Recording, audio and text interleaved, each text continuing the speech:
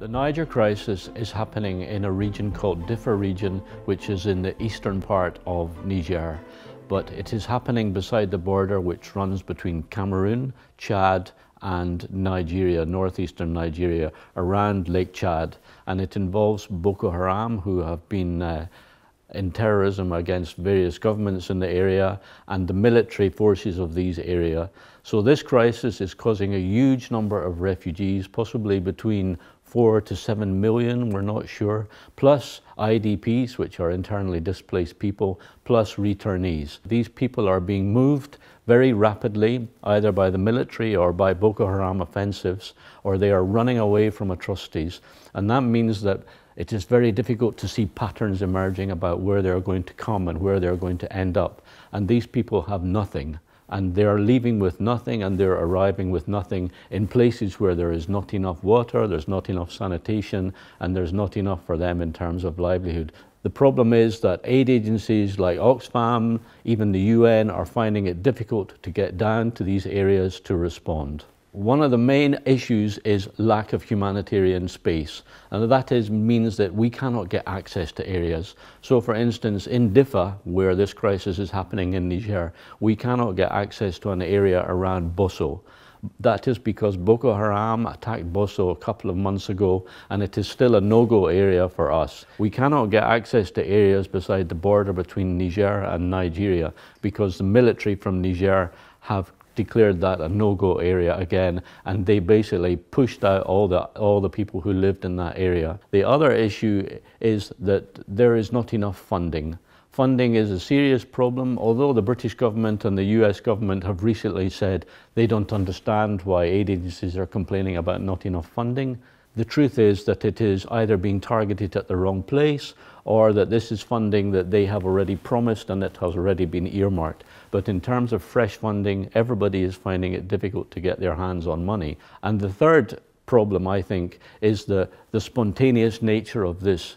It is people are coming not into camps where traditionally or normally you'd expect to be able to provide a high level of service but here, mainly people are going into what they call spontaneous settlements. And spontaneous settlements are basically uh, just a village with maybe two or three hundred people, and now suddenly it has 5,000 people. And these people have nothing, they have no water, no sanitation. They're obviously creating a huge new level of problems.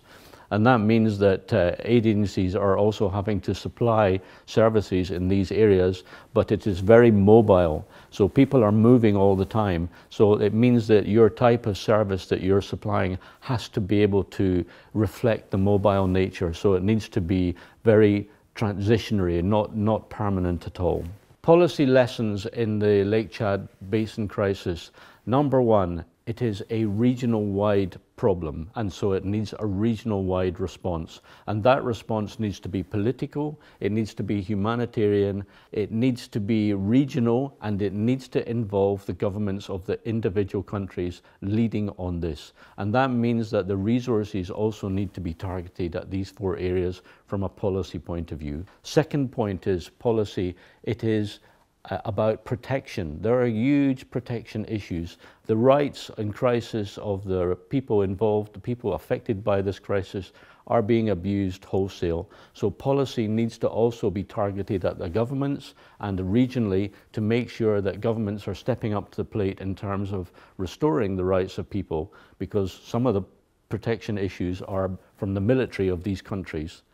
Thirdly, there is policy issues around funding and the type of funding and the level of funding. And fourthly, there is a policy issue of humanitarian space. In Nigeria, they blocked off areas, but now that is getting slightly better, so aid agencies are able to move into these. So for instance, MSF have gone into an area in Nigeria where there was suspected there was going to be some issues about food security.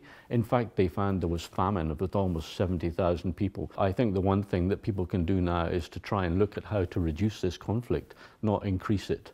And that means that, that from a policy point of view, the governments, the international community have to come together and start working towards some solution. Because as long as there's a conflict going on, we're going to have a massive humanitarian crisis going on in this area.